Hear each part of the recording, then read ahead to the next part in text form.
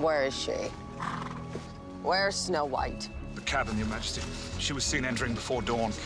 There's been no movement inside since. Gather the neighboring villagers. I want them to see justice served on their beloved princess. Regina, if you kill Snow White, you'll only harden the people against you. You have to prove to them that you can show mercy if you want them to love you like they do her. I didn't come here to show mercy. I came for her heart.